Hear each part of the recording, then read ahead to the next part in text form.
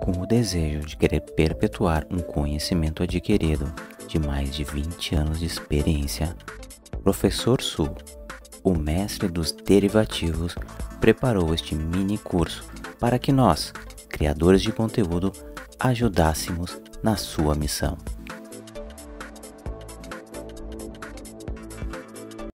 Olá pessoal, bom, hoje nós vamos falar sobre a borboleta. Né? A borboleta é o seguinte, é, tem bastante estudos que mostram pra, é, como é que faz para você olhar é, volatilidade, o delta, tá? Mas eu entendo a borboleta como uma estrutura de intervalo e para mim o que interessa é só o preço.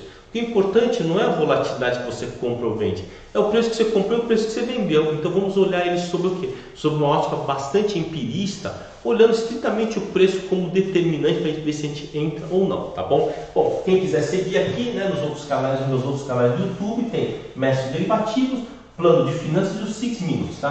Plano de finanças é mais leve, ele tem umas playlists legais, tem uma que é um tributo ao professor Luiz Maurício da Silva, que tem muito, mas muito material lá, né? E tem também lá o Pergaminhos de Cobre, que é bem legal. São, é, são aulinhas em 3 minutos para você entender como funciona uma estratégia, claro, é né? uma coisa básica dele. E os 6 Minutes, que é uma, um canal né, dedicado a ensinar é, os assuntos né, de vestibular, né, do segundo grau, em vídeos de 6 minutos. Tá? Então vamos lá. Borboleta. Como é que a gente vai olhar uma borboleta? Bom, a borboleta, quando você vai ver lá nos livros, ele aparece né, que você compra uma asa, vende duas vezes o miolo e compra uma vez a asa. Bom, é, isso é razoavelmente fácil do ponto de vista é, de tutorial, tá? Mas vamos ver como é que funciona ele quando você monta a estratégia.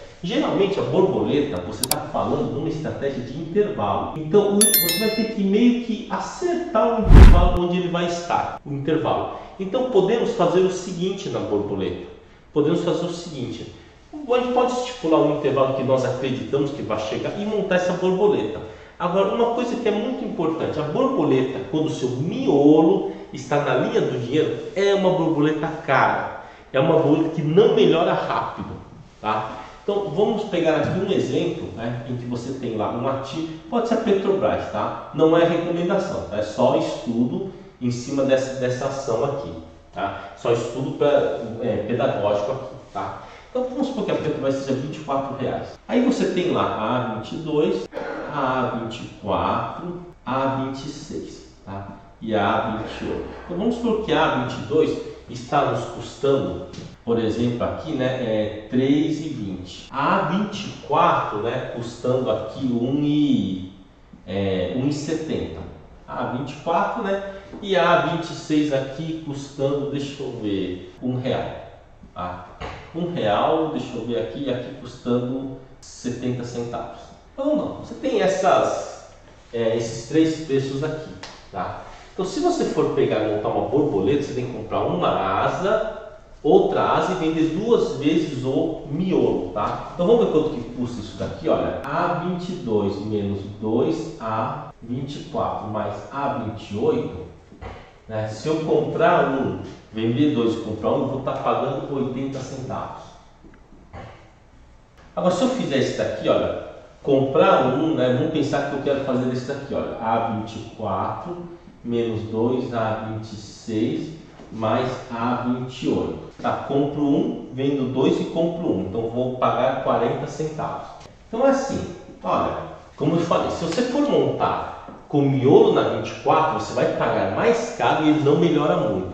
Geralmente a gente monta com o miolo um pouquinho para fora quando ele está barato quando ele está barato. O que, que é caro, o que, que é barato? Esse é o grande problema. O que, que é caro, o que, que é barato? Vai depender de cada situação. Mas você vai fazer o seguinte para você parametrizar. Você vai olhar quanto está a borboleta no, na linha ATM, né? Que aqui seria o ATM. Você vai ver quanto que custa essa borboleta e a partir dela você vai ter uma noção se as outras estão caras ou estão baratas. Olha só, essa borboleta com o meu na 26, você teria que apostar que ele vai ficar perto dos 24 e vai tentar chegar nos 26. É uma aposta na alta. É uma aposta na alta. Né? Agora, tem os livros falam sobre a borboleta dentro do dinheiro. Fazer, por exemplo, da A20 com a 22 e a 24. Essa borboleta dentro do dinheiro ela é muito complicada porque você tem o que? As asas estão muito caras, você vai pagar muito emolumento e muita corretagem. E ela se inviabiliza quando ela entra muito no dinheiro, porque fica difícil de você desmontar ela. A minha, a minha orientação é que você faça borboleta geralmente fora do dinheiro. Agora, suponha que você fala assim, não, mas eu quero apostar no 24. Como é que eu faço? Você não vai me pagar esse preço não. Você vai esperar ele dar uma boa caída no papel, dar uma boa caída, e assim que o papel cair, vier, por exemplo, a 23, 22,50, essa borboleta aqui vai perder o preço dela. Vai perder o preço dela e aí vai começar a ficar viável. Se, se ele cair com 50, né, 40, aí fica viável. Agora, um segredo, um segredo não, uma orientação, eu não tenho segredos com o pessoal, né? que me segue, tá? Uma coisa que é bem legal de você fazer, para você ver se vale a pena entrar na borboleta, é acompanhar ela. Não entra hoje. Vamos supor, você fala assim, não, não, aqui, eu, eu acho que vai ficar no 24. Eu acho que a borboleta vai ficar aqui no 24. Ó. Você vier aqui no 24, né, tem aqueles gráficos maravilhosos de borboleta de playoff, tá? que são maravilhosos. Mas aí não, não adianta você olhar sobre esse aspecto. Você vai fazer o seguinte: você vê quanto que ele está valendo. Então vamos supor que você está a 20 dias do vencimento, 20 dias úteis do vencimento. E a borboleta está 80 centavos. Com papel a 24, tá certo? A referência de papel é 24. Eu posso te dizer uma coisa. Se o mercado cair e essa borboleta vier, por exemplo, para 50 centavos, e você montar ela nos 50, caso o mercado volte aqui para os 24 reais, né, então tá, você conseguiu comprar os 50 porque o ativo que estava 24 caiu para 22,50. Se você montar essa borboleta no 22,50, pagando 50 centavos, caso ele volte aqui para os 24, não vai estar 80 centavos, vai estar bem mais. Vai estar 90, 95 centavos, porque a borboleta ela melhora alguns centavinhos por dia. Então a passagem do tempo, principalmente na borboleta, em que o miolo está na linha do dinheiro, né?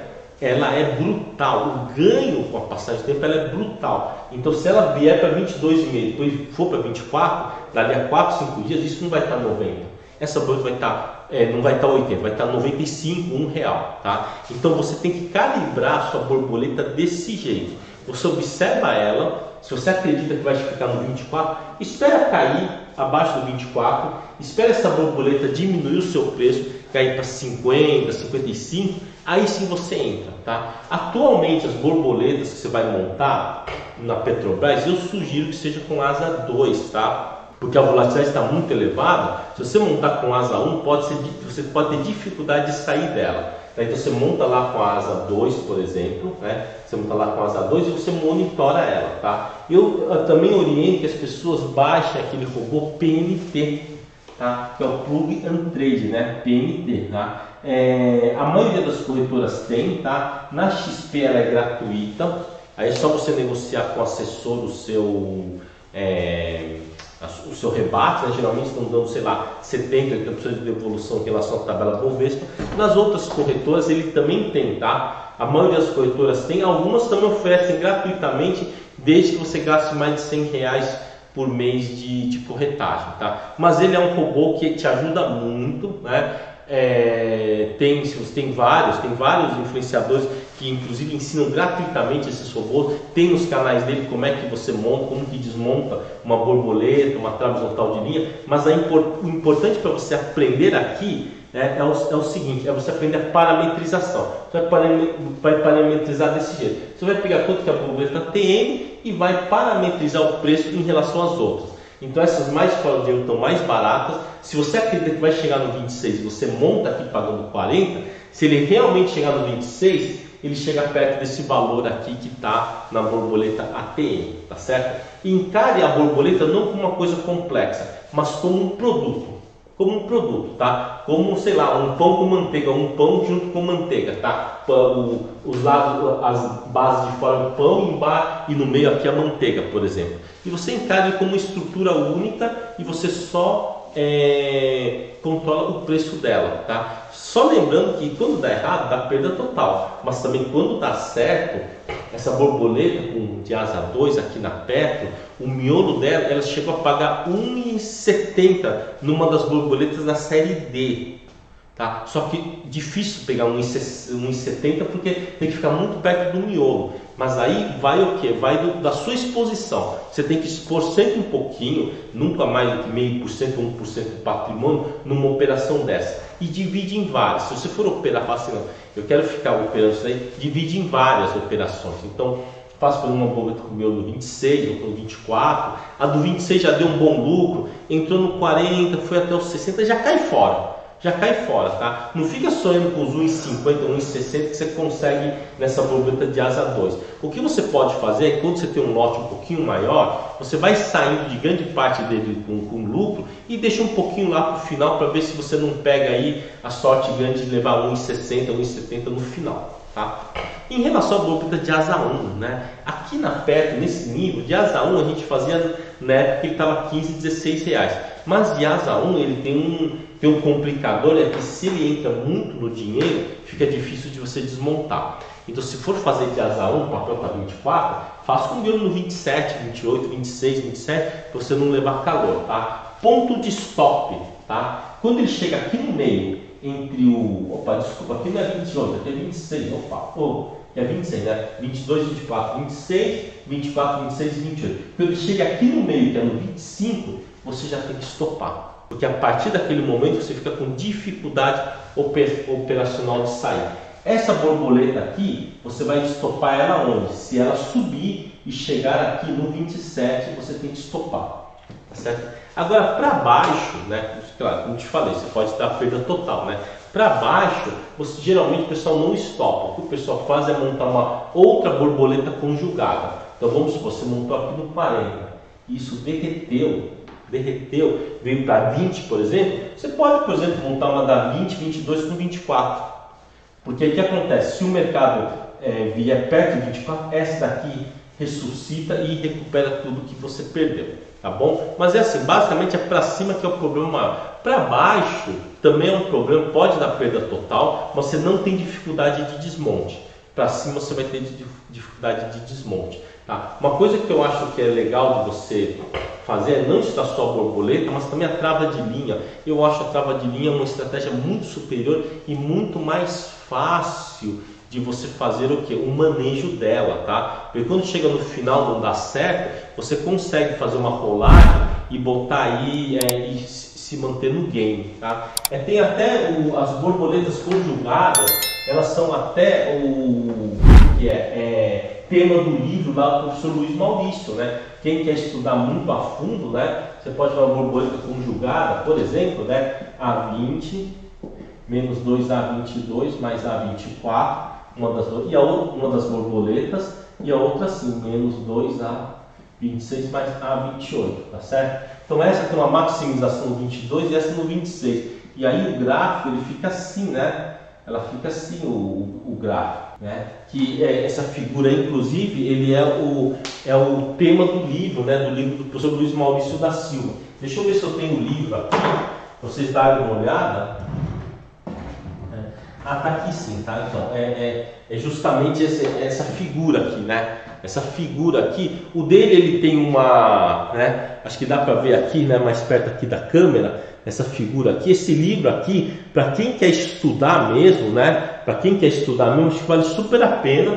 Tá? Vale super a pena porque ele é um livro assim, com um vídeo muito completo, né? E lá no plano de finanças tem uma playlist tributo ao professor Luiz Maurício da Silva, que tem, é, são 20 aulas que fala sobre, cada aula fala sobre uma das estratégias do livro. Claro que não está completo, né? O livro lá tem 173 estratégias, eu só coloquei 20 lá, mais para frente vou estar tá dando uma, uma caprichada e colocando mais estruturas dele, mas realmente ele é um, é um, é um compêndio aí que quem quer estudar vale a pena. E vocês podem procurar ele lá no Insta, né? Se vocês quiserem procurar, vai lá no Instagram, no é, professor Luiz Maurício da Silva, que o cara é super legal, tá? Quem, mas quem quer estudar, se não você fica aqui nos conteúdos gratuitos, dá para aprender muita coisa, e aí depois que você der uma melhorada, aprender bastante, quiser tentar dar uma profissionalizada no seu negócio, no, na sua operação, aí você vai atrás de coisas mais parrudas aí, tá bom? Então é isso aí, tá? Valeu!